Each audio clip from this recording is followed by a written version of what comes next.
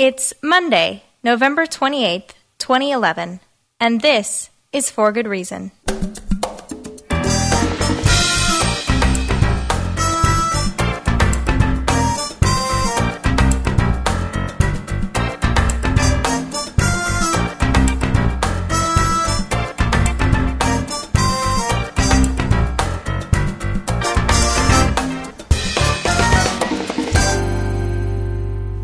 Welcome to For Good Reason. I'm DJ Grothe. This show's the radio show and the podcast produced in association with the James Randi Educational Foundation, a nonprofit whose mission is to advance critical thinking about the paranormal, pseudoscience, and the supernatural. My guest this week is James Randi. He's a world renowned magician and skeptic and investigator of paranormal claims He's had a central role in the development of the worldwide skeptical movement, which the James Randi Educational Foundation supports. He's perhaps best known for issuing a million dollar challenge to a number of paranormal claimants around the world, especially the celebrity psychics. He's appeared very widely in the media, including on Johnny Carson's Tonight Show at least 22 times, and has been a regular on Penn and Teller's old Showtime series Bullshit. He's received a number of recognitions, including a MacArthur Genius Grant, and the Forum Award from the American Physical Society for promoting the public understanding of the relation of physics to society. He's the author of a number of books, including Truth About Uri Geller, and also The Faith Healers, Flim Flam, and an encyclopedia of claims, frauds, and hoaxes of the occult and supernatural. Randi, welcome back to For Good Reason. Always good to be here, DJ. Uh, Randi, we have a lot of new listeners to the show, so uh, if you don't mind, let's start off with the basics. The James Randi Educational Foundation. We push being skeptical. We say skepticism is a good thing to be. You've yeah. been named actually the leading skeptic of the 20th century. So, to begin, let's just start off with what the heck is skepticism? Well, let's not um, mistake it uh, there, there can be a confusion here. A lot of people who are cynical think that they're they're skeptical. They may also be skeptical, but cynicism is not skepticism at all. Uh, skepticism, and I don't think we have to go back to the Greek roots of it, skeptos and whatnot. It, it is simply insisting that evidence be offered for claims, particularly claims that are not likely to be true. Uh, claims of flying saucers and uh, and dowsing with uh, sticks to find oil underground and, and things like that, oil and water, or lost children or whatever. Uh, these are claims that are unlikely to be true, and I think they deserve skepticism by their very nature. Now, that doesn't mean a cynic would say, oh, no, there's no such thing, I don't want to talk about it, and they just walk away from it. And the cynic also uh, ascribes uh, ulterior motives to people who believe these things or who push them. And it may just be ignorance. It, it may just be lack of sophistication that makes people accept these things or leads them to accept these things. So skepticism has to be thought of as not cynicism. Uh, I think we should never let that uh, enter our our spectrum of, of thought and activity. And I certainly don't let it uh, enter mine whatsoever and the James Randi Educational Foundation should be devoted to skepticism uh, as defined as I've just described it, I believe. So, skepticism is a kind of open minded inquiry. That's what you're getting at. That's uh, right. Bertrand Russell has this great line, you know, you should believe only those things for which there's adequate evidence. That's what uh, you just said. But yep. to me, that seems sort of uncontroversial. So if skepticism is just thinking critically about things, only believing stuff for which there's adequate evidence, doesn't everyone actually buy into that sort of skepticism? I mean, I can't imagine anyone who actually promotes the value of being gullible. Everyone, even the you know, even the person who says she believes in UFOs, you know, you often hear these people say, "Well, I'm a skeptic. I only believe this because of the evidence." Well, let's get into the definition of evidence. Uh, this seems to be the uh, uh, the operating word here. What is evidence? Uh, now that we've we've tried to tell our folks uh, what skepticism is, and it's proven by evidence, that is, it can be examined using evidence only. Um, then the definition of evidence comes into view, and that's perhaps a little more difficult to arrive at. Um, evidence is something that stays no matter how much you examine it, no matter how much you you test it and you tease it and try to pull it apart and negate it and uh, and, and, defy it and whatnot, it remains there. Uh, four plus four equals eight, if uh, I remember my arithmetic properly, and I believe I do. Now you can test that by taking four cantaloupes and four Volkswagens and put them in a huge box and mix them up. Now the cantaloupes won't do too well in, in the mixing, I'm sure. But if you count them afterwards, if you can pick out the, the pieces, there are still four plus four, which equals eight. There are eight objects in that box. And I don't know how I came up with cantaloupes and Volkswagens. I have no idea whatsoever, but that's the way my evil mind works. but uh, that that is a thing you can test again and again and again, and it will never give you a different result. So that four objects distinct objects added to four other distinct objects will always result in a total of eight. So uh, that, that that would would constitute good evidence for me. But evidence has to be something that can be tested that way. No, not that simply or or simplistically, I should say. Uh, no, there's sometimes it's much more difficult to examine evidence, but we've got to uh, uh take some lessons in uh, examining evidence, I think, and that's one thing that the JREF has promoted for years. Uh, how do you know that something is true? How do you examine evidence for it? And we frequently run into the, the problem and we offer solutions. So it seems like you're touching on the point that uh, the evidence needs to be objective, independently verifiable. There's this notion of intersubjectivity. So, you know, various people could have the same experience of uh, the evidence as well. You know, so it's not just a matter of taste or personal preference or one man's hidden or occult or secret knowledge, but that it's That's open true. to everyone's objective scrutiny. And one thing that we find all the time too, and I'm sure you've run into it, DJ. Well, we've all run into it, is people who say, "Oh, I just know that's true." I don't know. I don't have. I don't have. I don't need evidence. I, I know. I don't want to see that. I don't know. I don't want to see the page number. In the, no, no. I don't want to see the book. Close that book. No, that's not necessary. I just know that what I just told you is true, and that is not just knowing. That is uh, wishful thinking in many cases. Now, it may be true the uh, the premise that's being examined here may be true, but just knowing it is not sufficient, and many people can't follow that, and they don't follow that. They uh, they seem to think that they've got some sort of inner knowledge or inspired knowledge, and of course, all religi- religious claims are exactly uh, that sort of thing. There is no evidence for religious claims. Uh, there are there is evidence for certain claims that may be dubbed uh, religious, but when they're examined carefully, uh, they either don't apply to religion or they aren't true. So you, you, touched on religion, and I'd like to get into that a, a, bit more later. You know whether or not God is within the purview. You know claims of God's existence well within the purview of this the kind of skepticism you're talking about. But let's stay on this uh, evidence notion. So skepticism is believing only those things for which there's good evidence, and evidence is this kind of knowledge arrived at through observation, right? That right, is right. objective. It's not just a matter of personal preference or taste.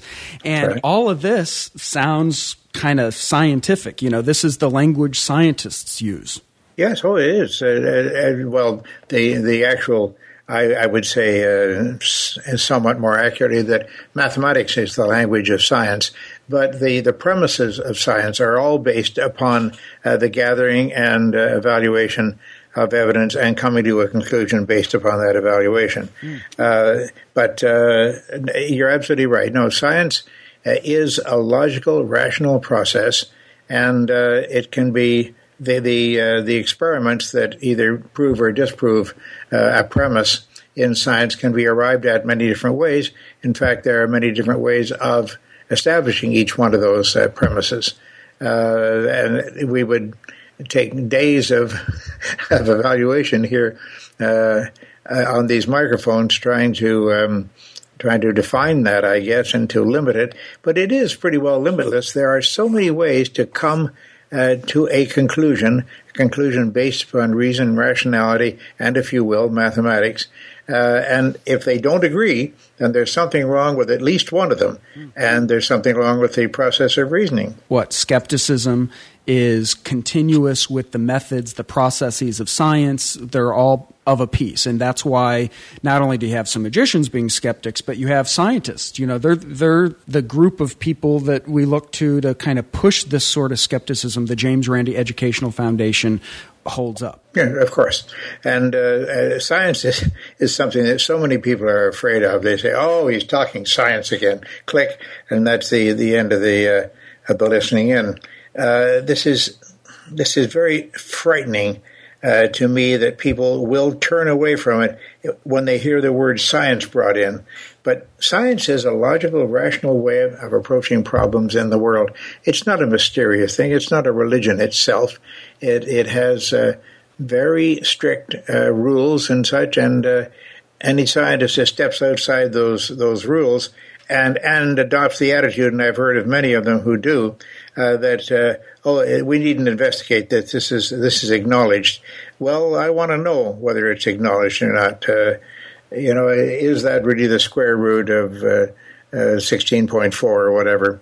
Yeah, moving on then, uh, really about the specific focus of the JREF. You know, we're not a science education organization only. We don't teach people astronomy or or biology, et cetera. We support scientific literacy, but we focus on the paranormal, on pseudoscience in particular. Why that focus? Why not just be pro science in general? Well, uh, science itself is pro science. There are many, many agencies and many individuals, many groups out there that are handling uh, scientific problems and coming to conclusions via uh, scientific means. But the JREF is much more dedicated to those very highly questionable uh, things that really amount, in many cases, to nothing more than superstition or fond ideas that people would like to be true. And those things are very dangerous. They're insidious in that they can separate people uh, from their sanity, for, for one thing, and certainly separate them from their from their money. And uh, I think that that is the the major job of the James Randi Educational Foundation. That is to inform people that there may be alternate answers to the questions they're they're asking, if they're asking any questions at all, and to be very very wary of what you find on uh, apparently uh, definitive and authoritative and dependable sources. Now, uh, that doesn't apply to Google, of course, because Google, as we know, knows everything in the world. There's no question of that. but uh, you, you notice that Google entries and such, and uh, they they are subject to correction and uh, by either by readers or or whatever um, agencies of various kinds you've got to be very careful of accepting the corrections as well. So we are faced with a matter of judgment. And there is such a thing as good common sense, DJ. It does exist. There's no question of it. I hear people saying, oh, that's just an expression. Old ladies use that. Oh, it's just common sense. Well, it may uh, be something for little old ladies to handle, but little old ladies sometimes know a lot and uh, we better listen to them too. Common sense is an actual thing. It's something. Well, first of all, it appeals to the intellect. It appeals to the to the rationality of people. But very uh, commonly, very often, common sense can be wrong if it's based upon the wrong premises and the wrong education, the wrong background. And certainly, a religious background is going to lead people to uh, come to very strange conclusions. In many cases, if uh, their religion is so much a part of their philosophy that they cannot deny it and they they use it first before they use anything else. Look at the uh, the the candidates for the position of president of the United States that we've been seeing on TV. Mm. Uh, it is incredible. Hardly any of them can say uh, anything in saying good night or goodbye than God bless you or God bless the so and so party or whatever. Uh, and that party has a lot of so and so's in it, but we won't get into that. Um, yeah, that that is such a pervasive thing. This belief first in religion and then on logic and science and rationality.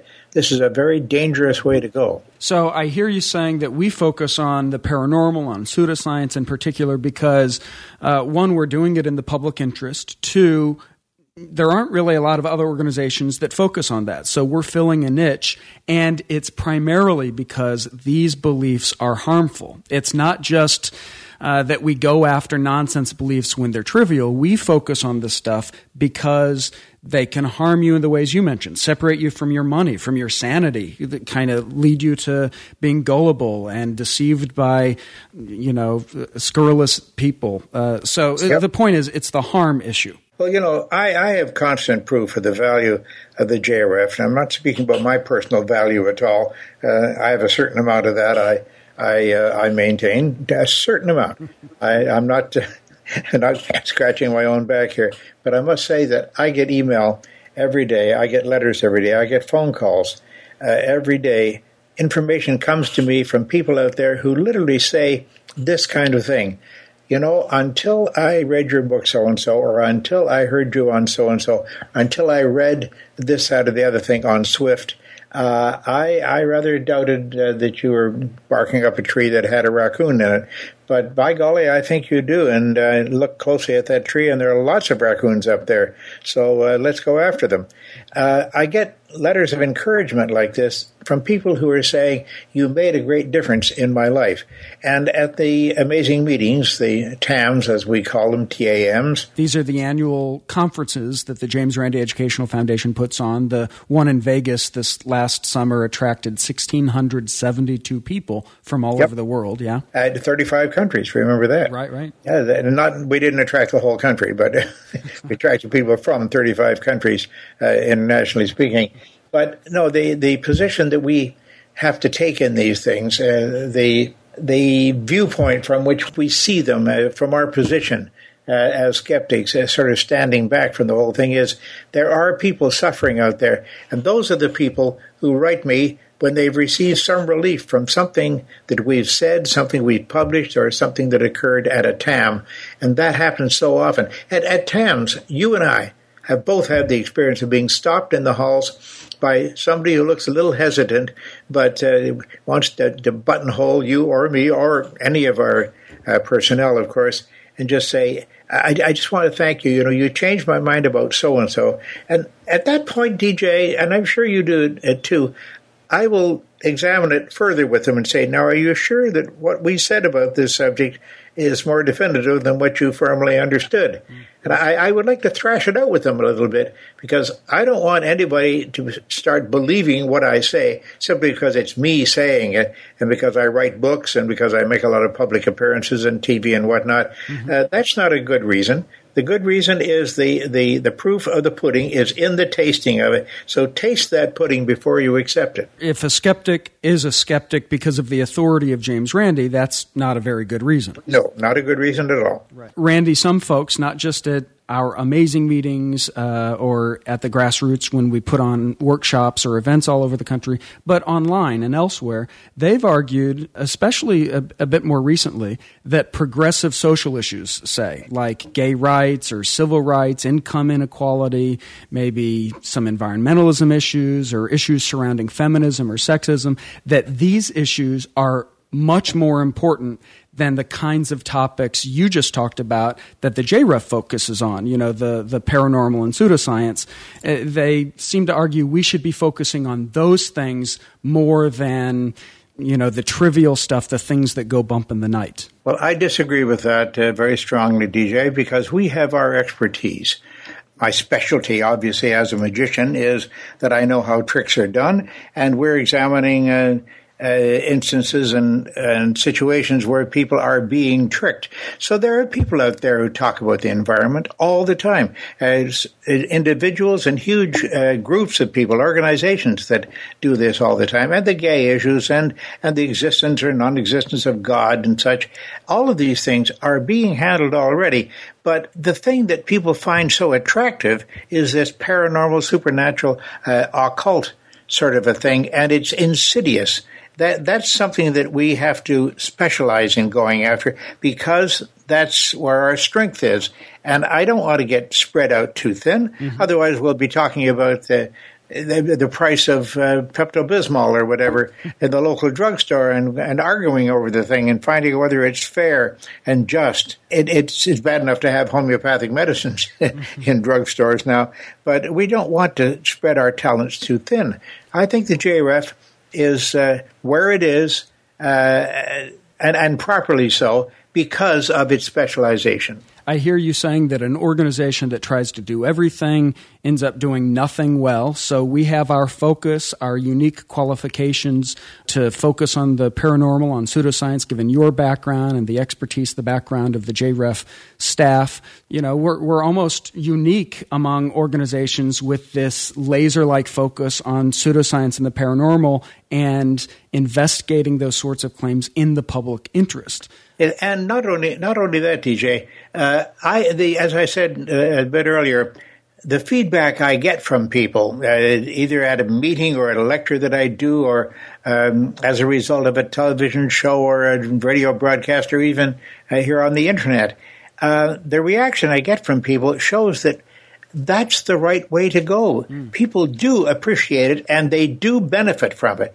It's yeah, a it's, service which is needed. It's certainly not trivial when someone, I was in the Midwest with you at one of your talks, and no exaggeration, a young man came up to you, and I mean, this is going to sound a little cult of personality, but he teared up as he was talking to you about how your work has changed his life for the better. You know, some people go around in a cloud of gullibility and they stumble upon James Randi, whether it's our YouTube channel or your writings or your public appearances, and they kind of, their light bulbs go off and they're, uh, they are really benefited from this new kind of skeptical perspective. So I've seen that firsthand. I've seen people with shaky, quivering voices come up to you and thank you for changing their lives.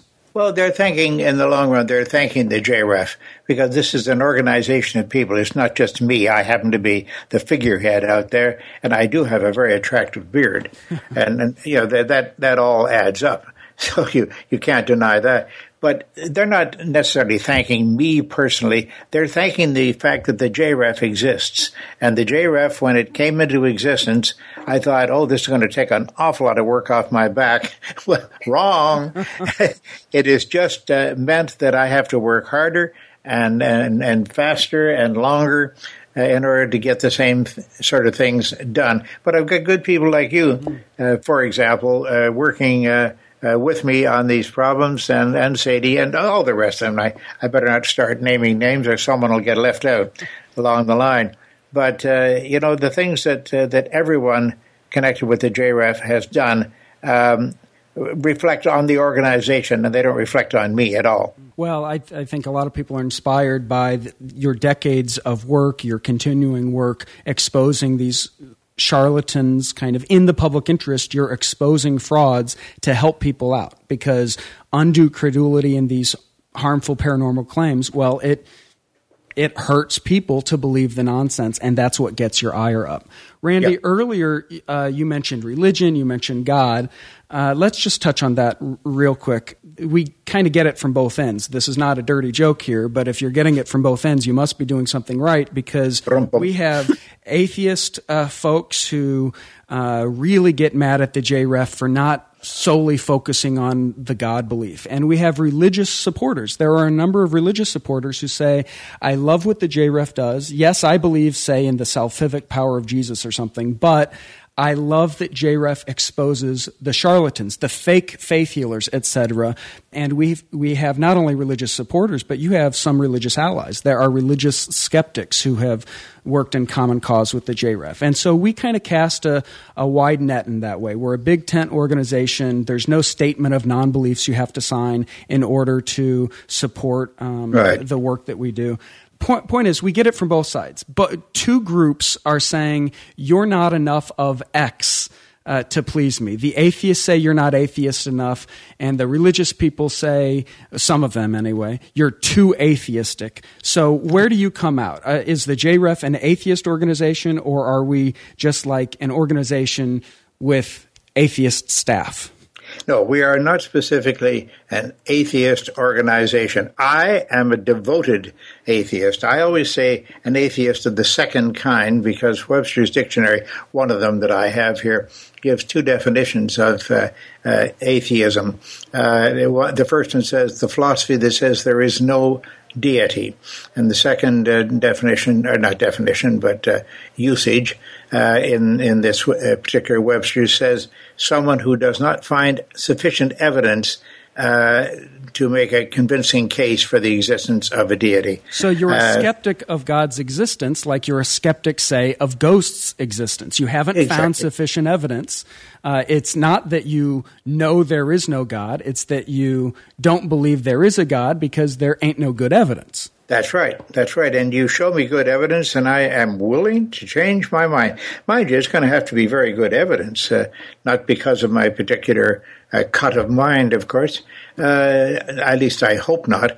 It's just that I have examined this since I was a tiny child. I remember uh, at, at the age of eight and nine having arguments with babysitters, uh, some of whom were uh, evangelical types who used to uh, mind me and my brother and sister um, when my parents went out at, at night to the theater or whatever. And uh, I would give them a, a, very bad, a very good argument, pardon me, and they'd consider it a bad argument because the devil had gotten into, uh, in touch with my tongue somehow, you see. And they would complain to my parents when they came home. Oh, this child is is dreadful. He he argues about the existence of angels, uh, for example, and. Uh, so I, have had my experience of this from a very, very early age. I must say, my parents never tried to really sell me on religion. Uh, they were Anglicans, which is sort of watered down Catholic in Canada, and and uh, I, I, they're going to love that. I can just hear people groaning now, but um, uh, they, they, never really tried to sell me on religion. Uh, I, am sure I told you my episode of going to Sunday school. You have mentioned it. Mention it again for our listeners. Oh, all right, very briefly then, because I, I, tell my stories over and over again. I'm an old guy, you know. Uh, we tend to do that. Uh, yeah, I, they sent me to Sunday school, and uh, they were still abed on a Sunday morning, and they'd uh, give me a quarter, which was to put into the offering plate, so to speak, and uh, they would send me off to Sunday school. I went the first time and got into arguments with the teachers right away. Uh, how do you know that's true? It's in this book. Oh, well, I mean, who wrote that book? God wrote this book, and, and Jesus wrote this book, etc. Well, I wasn't too convinced by that argument, and I went the second week, and I, I gave in the quarter, incidentally, but I, I went the second week, and uh, on that uh, episode anyway, I went the second week, and I was finally thrown out of the class because I was making a lot of trouble and the other kids were not listening to what the teacher was saying. Uh, they were listening more to me. So I was tossed out. And the third week, I discovered this wonderful fact, which I've never forgotten and I've never quite gotten over. The 25 cents at Purdy's drugstore on Bayview Avenue in Toronto would buy a two flavor uh, ice cream sundae in a tall tulip dish. And that was a delay. It was much better than Sunday school, I can tell you that. Uh, well, there you go, proving those fundamentalist Christians right. You're just a materialistic, in both senses of the term, atheist who who cared more about the here and now than the there and then. There you go. Proud and proudly so. Proudly so. Okay, so the JREF is not an atheist organization. You said that, no. but you're also a super big atheist yourself. Square that circle for me. Make sense out of this notion that we're not an atheist organization, but uh, I think almost all of us are atheists. Well, I'm, I'm willing to argue with anyone, discuss the, the matter, if you will, about the existence of a God. Uh, and I have done this at various uh, meetings, lectures, uh, and after lectures that I have uh, presided at over the years. Um, I will argue uh, the matter, and um, I won't give much ground on it. Uh, and if they find they throw up their hand to say, "Well, there's no sense arguing with you," that's the best words I hear in the whole day, uh, because that means I'm finished with that one. Uh, and there is no point in arguing with somebody uh, who insists that evidence be produced to support any premise, and that is uh, what I insist on doing, or I don't argue. where is your evidence? Do you have any? First of all, and if so, where is it and how strong is it? And let's discuss it. So I'm willing to do that at all times. I think that the God delusion, and that's what I call the chapter in my forthcoming book, A Magician in the Laboratory, which I'm sure you'll all rush out and buy several copies of as soon as it's published. um, the, the God delusion is the name of that particular chapter. And uh, it, it deals, it's a long chapter, I, I will admit, in my forthcoming book but it is an important thing because so much of the misinformation that we have and the lack of, uh, reasoning and rationality that uh, pervades our society is attributable uh, to religion. And look at wars. look at the recent wars, look at wars back through history. The reason that most of these wars took off as they did is because of religious differences. Examine them carefully, and you'll find that that's very true. I, I think at, that's true even in the 20th century, but only if you define religion to include state religions like yes. Nazism or, or exactly. Stalinism, communism, something. Um, so the chapter in your book, The God Delusion, should also be said that that's the title of uh, one of our favorite books written by Richard Dawkins, uh, oh, yes. God Delusion. Uh, you, you, zero in on God belief as as a topic well within the purview of the skeptical enterprise. Mm-hmm. Very true. Very true. I, I so I, I, maintain that this is, it, to my mind, and, and in my estimation and in my philosophy, it is the greatest cause of misunderstanding of reality uh, th- that is the the existence of religion because it's basically, in my estimation, again, it's basically wrong and it can govern people to the point where they don't admit anything that doesn't uh, admit anything to their philosophy or their reasoning uh, processes if it doesn't embrace religion as well. And I think that is a leading mistake. And so this is something that uh, the JREF does focus on, but it's mm-hmm. not our only focus, and we don't zero in on solely on, on God belief or church state separation or something. You mentioned the reason why earlier. Um, I, I want to go over that again. You're, you're saying it's because other organizations do that. That's their focus. And we have a niche focus when it comes to these testable claims, these, right. these paranormal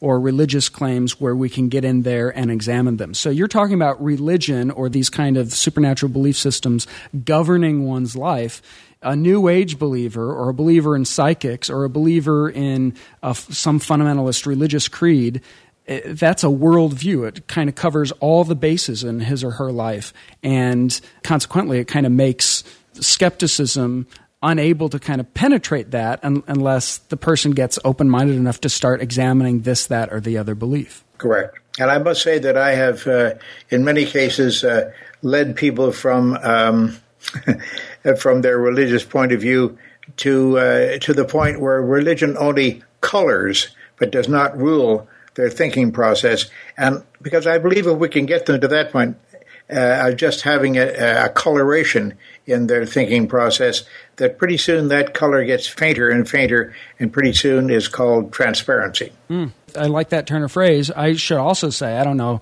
uh, I'm not trying to pick a fight, but I sometimes feel I have even more in common with a liberal religious person than you know some diehard atheist who happens to be homophobic and sexist and racist and kind of believes in alt med and denies the moon landing and all that other stuff. So atheism to me is not enough. I tend to favor a skeptic who more broadly applies skepticism in many areas of his or her life rather than just kind of being a one note Johnny and only ever talking the God belief. Yes, I, I would tend to agree with you on that, DJ. Uh, I, I, tend that way too, but I get into some different arguments than you might, and so the approach and the result will be somewhat different. Right. Uh, so to finish up, Randi, uh, you, are talking about the focus of the JREF, the work that we do. We've talked about how you know we've both seen people come up to you about how the work of the JREF and your work has changed their lives. Under your leadership the last couple years, we've undertaken a number of new projects. Let's finish up by highlighting a couple of those for our new listeners. Please, yes. First of all, uh, the the record attendance that we had at the last uh, TAM in Las Vegas, there, I think we can be very justly proud of that. Uh, you know, 1,672 people. That's that's a huge crowd. but we had been doing uh, things that, uh, well, for example, uh, we sponsored that uh, what they called the 1023. It should be 10 to the 23rd power. I'm, I'm a stickler on that. Uh, the anti-homeopathy campaign. We were the U.S. sponsors of that anti-homeopathy campaign, and you issued a challenge actually to yes. the oh, yes. The pharmacies uh, yeah. who, who peddled that stuff. Yeah, and you know, when I've actually gotten to talk to somebody in the pharmacy business, they just throw up their hands uh, with no shame whatsoever and say, yes, but people want to buy it. You know, and then, then my, my my response to that, of course, is, "Oh, you will sell heroin then if they want it, and and they will pay the money for it." And they say, "Oh, no, no, no, that's against the law." Oh, then it's a case of if it's still legal and you can still get away with it, you'll do it because it makes you money. Mm. And at that point, the conversation usually stops rather abruptly. So we sponsored that national campaign. We issued the million dollar paranormal challenge to the claimants of homeopathy. But we also issued the million dollar challenge to a number of other folks this year. Yes, we did indeed. Some specific people. Uh, James Van Praagh hasn't been heard much of lately. Notice? uh, well, DJ, why don't you tell us about the project that that, that you uh, uh did on behalf of the uh, of the JREF, of course, with your zombies? We had fun with, uh, and and this is on our YouTube channel, which is one of the most subscribed nonprofit YouTube channels in all of YouTube history. There will be a link to it on our website, forgoodreason.org. Uh, Randi, we got a group of JREF volunteers here in Southern California to do a I don't know would it be called a zombie flesh mob? Maybe that uh, maybe flesh mob means something else, but. Um, we basically crashed one of James Van Praagh's parties, took careful attention not to be disruptive of the of the proceedings or to challenge or confront any of the attendees because remember these folks who go to see James Van Praagh he's one of these psychic mediums who says he could talk to deceased relatives well they're going because they're grieving they've just lost a loved one yep. I think what James Van Praagh does it, it offends both reason and the conscience when you think of how well uh, uh, from my vantage, he's taking advantage of the grieving, of the bereaved, and it's ugly, it's gross to me. So uh, rather than just kind of trying to st- stick it to him, we uh, issued him a million dollar challenge. We won some national press attention for that million dollar challenge, but of course, he ignored that challenge. So we said if he says he could talk to dead people and he won't talk to the James Randi Educational Foundation, we'll bring some dead people to his spirit circle where he makes tens of thousands of dollars a night pretending, I think, pretending to talk to people's dead loved ones. Well, we brought some zombies, some dead people, to see if he would talk talk to us. And of course he didn't, but that little stunt and we're unapologetic about it being a stunt. Look, we, we're trying to raise the public's awareness about these irresponsible, harmful claims that people like James Van Praagh make um, well, it garnered national media attention in the LA Times and Forbes, in uh, it, uh, AOL News, a number of places. And uh, w- what you know, uh, shortly after that zombie flesh mob, or whatever we want to call it, James Van Praagh changed his policy. And on his website now, he has an ironclad policy, I think, in an attempt to keep more things like this from happening. So pretty evidently, I believe. Right. So th- you're right. That's one thing we did, but we uh, had fun doing a number of other things this year. Uh, you literally traveled the world giving talks uh, in a number of countries. As an example, uh, well, with Brian Thompson, my faithful assistant, uh, we traveled uh, all over Europe for one thing, and well, I did that with Sadie Crabtree, of course. And then when we got back here, I, I went right across Canada from Vancouver uh, all the way to Halifax, and that's from west to east, and you, you can't really miss anything along the way. That was a nine city lecture tour to sold out audiences throughout Canada. Yes, that was nine cities in nine days. That's the most important part of it. We had one day extra in Halifax, and uh, they, they sort of hung me up on the clothesline and just let me hang there for 24 hours. Uh, I was totally exhausted by it. Uh, but it, it was good work. It was such good work because we met all kinds of enthusiastic people in another country. That's my original uh, birth country, of course, as you know. Mm-hmm. Uh, and I was happy to be there. But uh, the the media attention, the the, the amount of press we got on the thing, the amount of attention, and as you say, the turnaway crowds in every case uh, was really something. it was very very it was a good move on, on behalf of the JREF, and I was very proud to be at the head of that. You also gave talks in Spain, um, and you mentioned uh, the Norway tour. You were mm-hmm. a national spokesperson for uh, anti superstition and anti uh, paranormal campaign there in cooperation with the National Humanist Organization in Norway. So the point is, you literally were ev- everywhere this year. You were on the road a lot.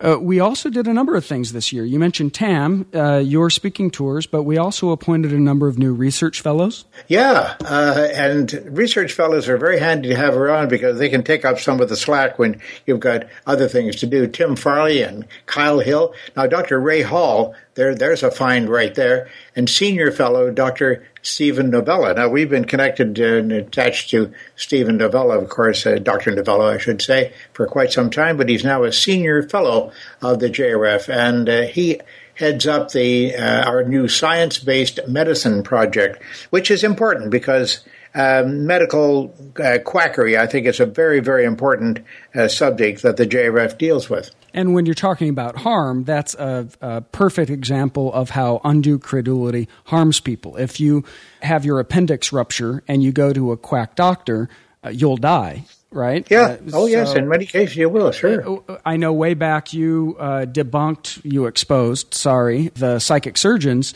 When you look at folks like Peter Sellers or Andy Kaufman, both of these men had cancer and they went to psychic surgeons instead of oncologists and they died as a result. Yeah, and Kaufman himself uh, actually reported after seeing them in their performance, he saw exactly how it was being done and he found himself laughing on the operating table.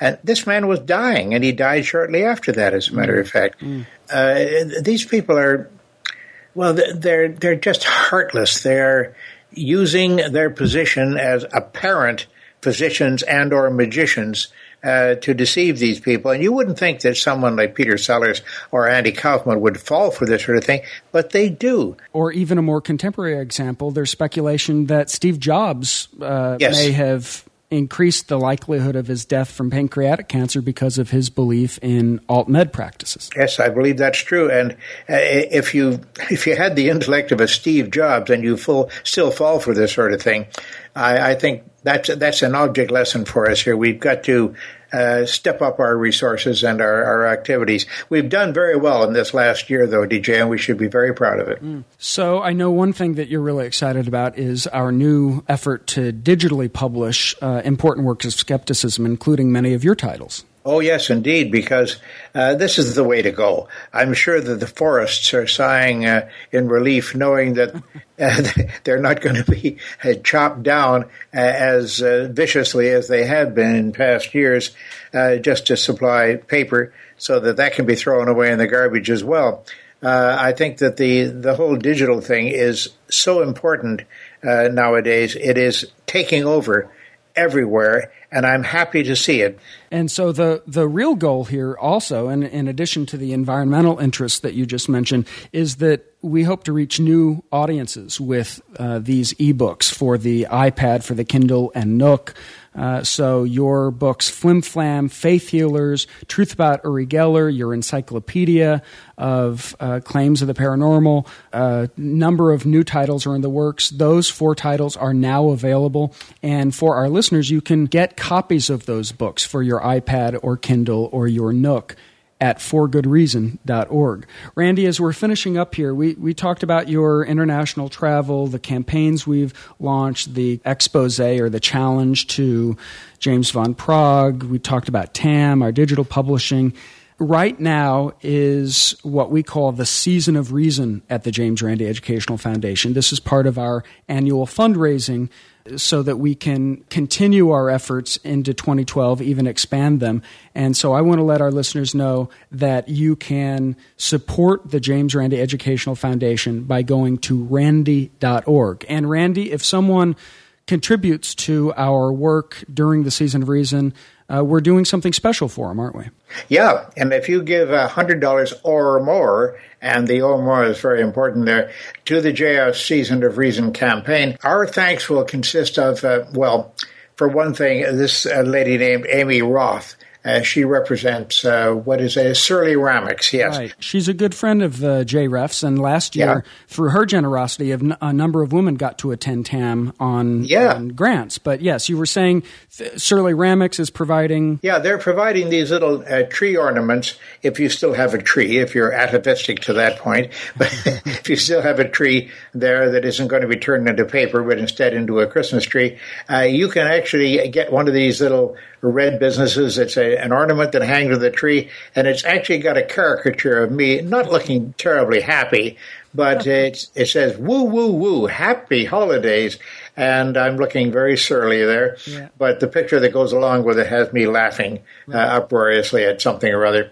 But th- these are collector's items now, uh, DJ, as you know, and uh, people are just clamoring to get them. And so if you if you make that kind of um, uh, a donation to us, uh, that's what you'll get. These are collector's items. And uh, hundreds of JREF supporters participated in the 2011 season of Reason. That's and last year's, by, yeah. Yeah. And by doing that this year, you'll add to your collection. So don't miss your chance to keep your collection and the JREF going strong. Please, folks, will you? Okay, so that sounded sufficiently infomercial. Thank you, Randi. The the point here is it's our way of saying thanks to folks who help support our effort to fight unreason, to combat harmful pseudoscience. The same work you've been doing for decades, we want to continue doing, we want to expand, and we can't do that without folks' support. That's absolutely right. And so this is our appeal, and we hope that you'll pay some attention to it, folks. Please do. You can make a donation at randi.org.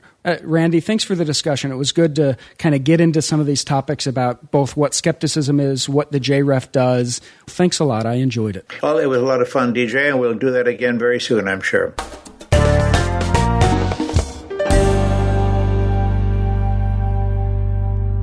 Thank you for listening to this episode of For Good Reason. To get involved with an online conversation about today's show, join the discussion going on at forgoodreason.org. Views expressed on the show aren't necessarily the JREF's views. Questions and comments on today's show can be sent to info at forgoodreason.org.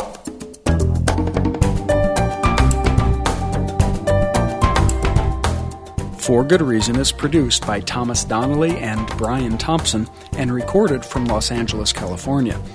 Our music is composed for us by Emmy Award winning Gary Stockdale. Carrie Poppy contributed to today's show. I'm your host, DJ Grothe.